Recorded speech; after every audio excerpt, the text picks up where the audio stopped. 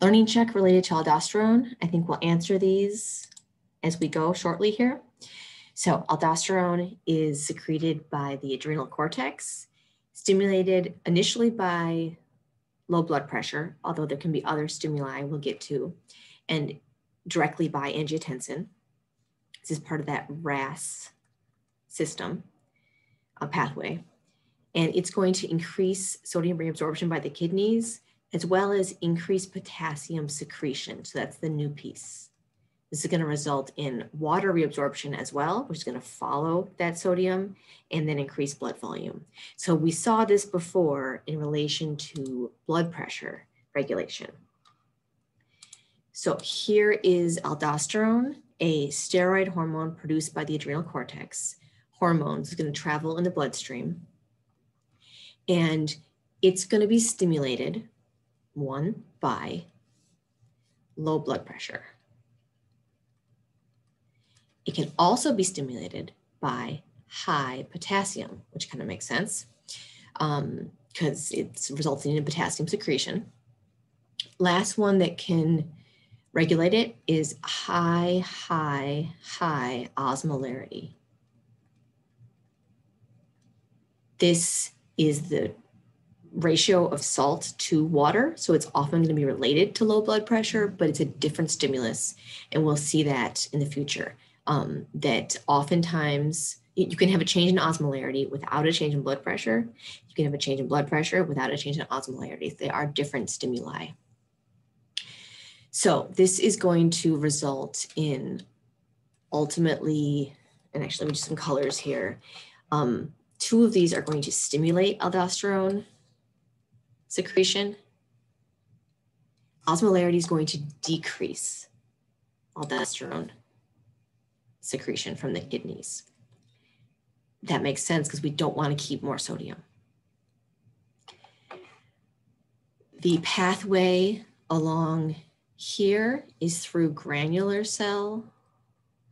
Well, it's actually more than one mechanism. It also is through um, baroreceptors,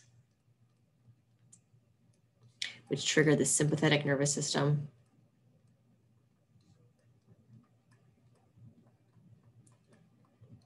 which is both of these are going to result in renin and then angiotensin production.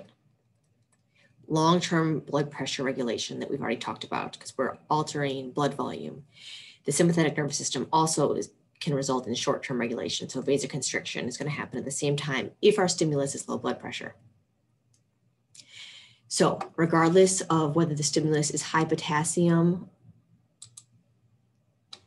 or low blood pressure, aldosterone is going to be released and it's going to, I don't want red actually, no red. We're going to target the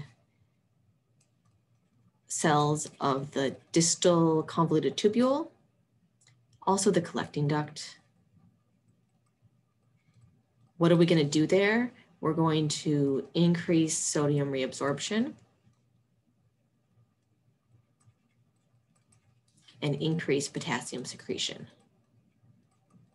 This is responding to this stimulus. We're getting rid of potassium by secreting it. It's also going to respond to this. So it can be stimulated by either one of these. Sodium reabsorption is going to increase water reabsorption.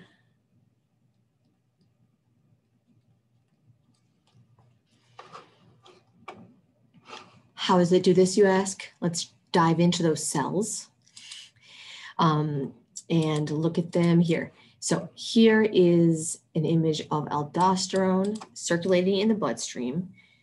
Adrenal cortex produces this hormone in the bloodstream.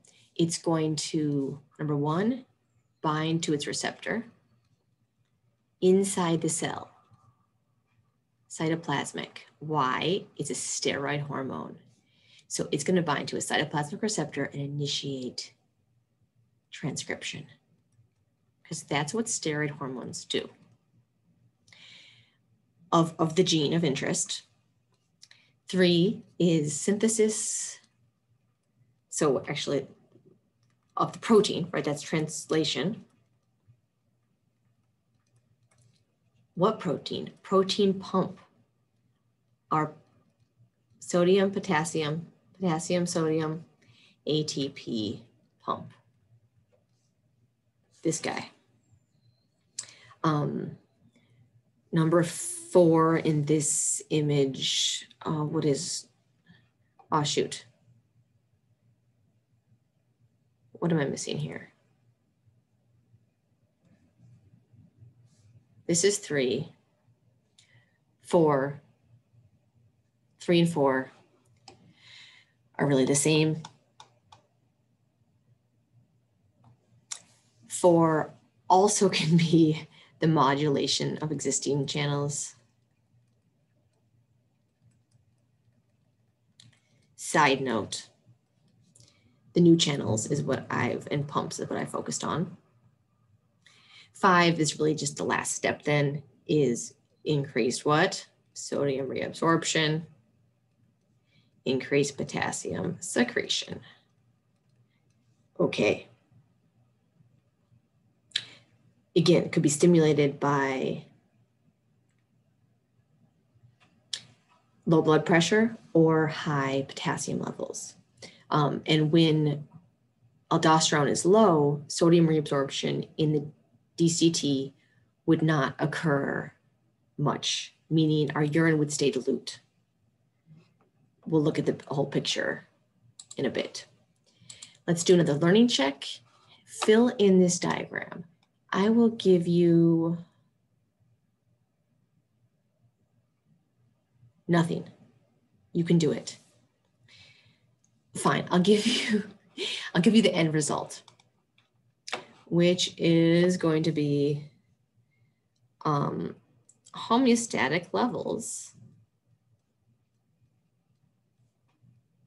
of sodium and potassium.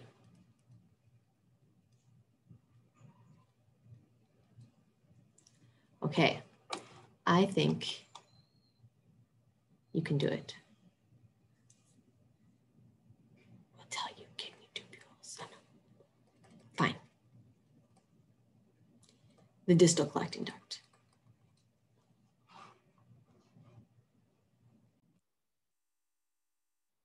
And what we've done here is describe the signals that cause the release of aldosterone from the adrenal cortex, and then the effect of this aldosterone on the nephron, um, including where this is and the transport mechanisms